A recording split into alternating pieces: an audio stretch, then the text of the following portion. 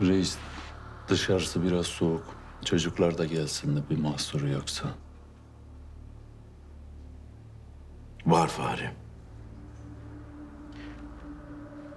Konuşacaklarımı duymasınlar. Sonuçta kötü örnek de örnektir. Abi, bilmediğimiz bir şey mi oldu?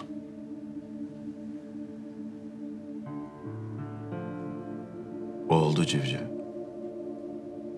Bizim bilmediğimiz ama senin bildiğin bir şey oldu.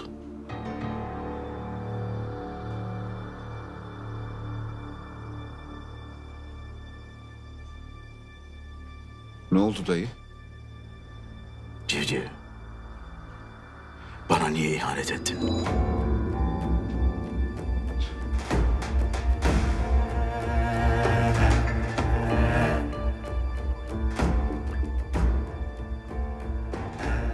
Allah aşkına abi ben sana nasıl ihanet ederim ya? Mesela evimin mutfağına dinleyici yerleştirerek.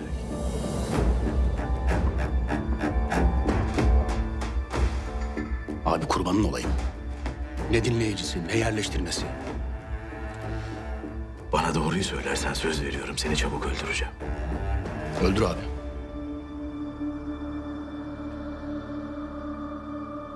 Ben sana asla yalan söylemedim. Asla. Yalan söylemedin. Çünkü ben sana güvendiğim için o istihbaratçılarla görüşüyor musun diye sormadım.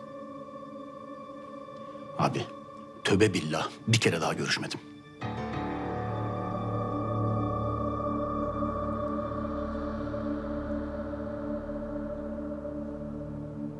De ki yalan söylemiyorsun.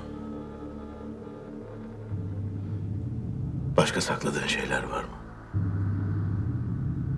Ayşe'nin onlarla hala görüşmesi gibi.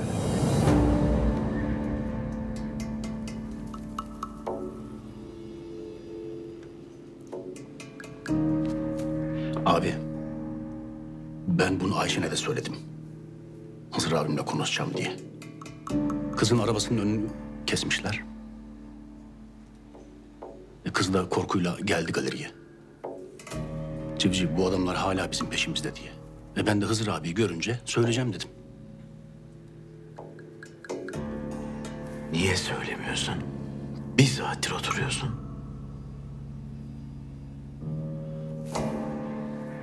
Abi. O kadar gerginsin ki. Hani şimdi söylersem üzülürsün diye. Sence niye gerginim civciv? Dayı. Şimdi evimizde dinleyici mi var?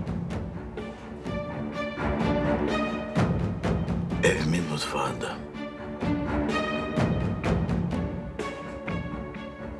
İş yerimde, depoda. En fenasını söyleyeyim mi?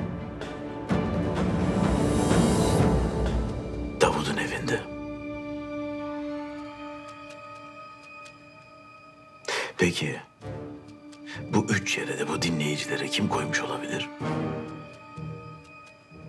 Bu üç yere kim girecek ki reis?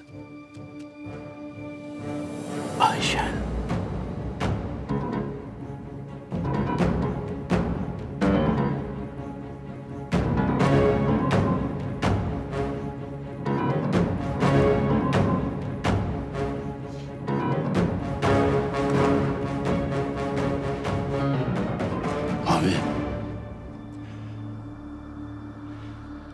Ayşem böyle bir şey yapmaz. Ya niye yapsın ki? Ayrıca altı ay sonra belki daha fazla ilk defa geldi galeriye. Ne yaptınız galeride? İşte o adamların yolunu kestiğini söylemeye, panikle anlatmaya geldi kız. Nerede anlattı? Dep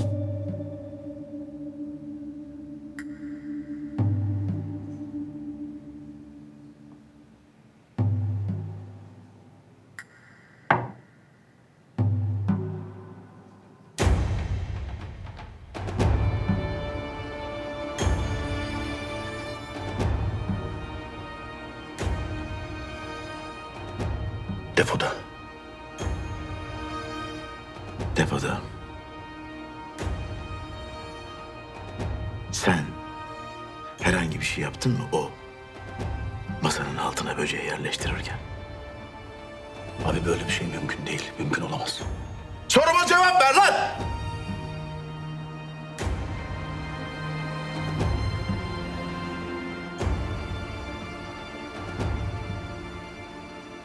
Su istedi. Bir bardak su verdim. Su verdin. Ben size ömrümü verdim lan. Ben size ömrümü verdim. Siz beni bir bardak suya sattınız. Abi ben seni satmadım. Satmam. Bak Allah'ın aşkına. Kurban olayım beni burada öldür. Yoksa ben bu rezillikle yaşayamam. Artık senin yaşamın önemli değil. Önemli olan benim bu duyguyla yaşamam. En güvendiğim adam. Evimin, ailemin içine giren. Karımın kız kardeşi gibi olan. Çocuklarımın abi, abla dediği birilerin beni aldatması. Şimdi ben bu aldatılmışlıkla nasıl yaşayayım? Aha bu Fahri'nin yüzüne nasıl bakayım? Hı? O eniştenin yüzüne nasıl bakayım? Ne diyeyim lan? Dayı müsaaden varsa bir şey sorabilir miyim? Sor.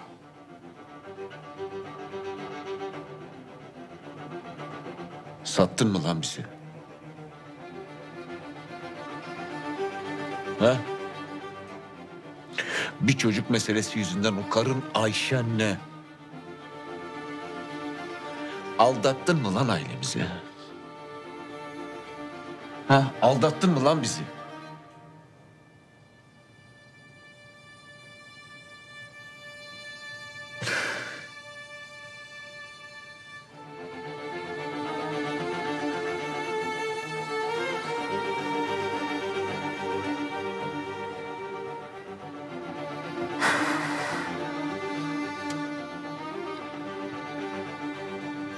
Satmadım. Ben aldatmadım.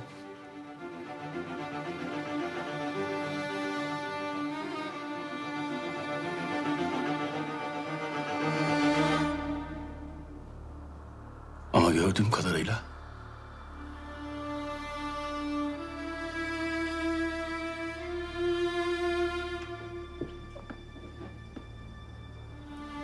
karım ailemize yapmış bunu.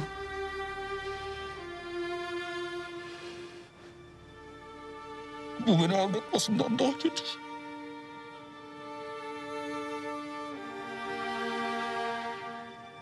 Kötü.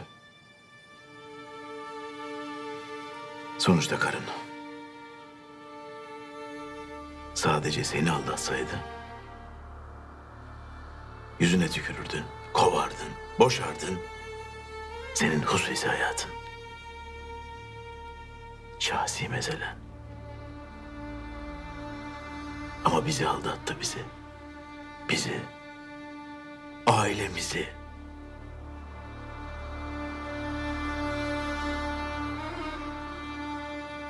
Onun yüzünden ne oldu biliyor musun? Yengem felç. Alparslan'ın annesi. Felç. Alparslan. Canlı cenaze. İlyas. Az önce ölümden döndü. Ortalıkta gezen serseri mayın. Sebep? Ayşe. Niye?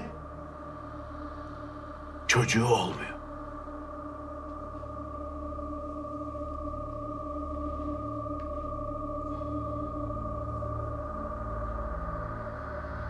İyi ki olmamış.